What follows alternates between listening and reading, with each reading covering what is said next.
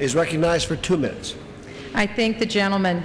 Mr. Speaker, this rule finds a way to create an ethics resolution that could encourage unethical behavior.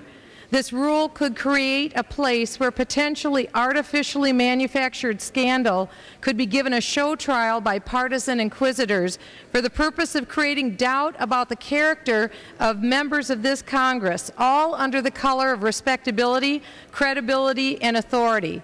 Mr. Speaker, it is ingenious because partisans remove themselves as the original accusers. Incredibly, after a 90-day period of show trials, the unreformed Ethics Committee in Congress will again take up the case, returning us to where we were before all this started, with no reform.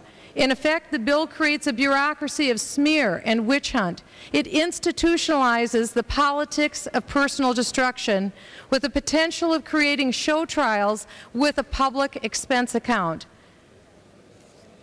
Mr. Speaker, this is a deeply ironic proposal that instead of combating corruption could reward it. And I urge all members of this body to vigorously oppose this rule, and I yield back.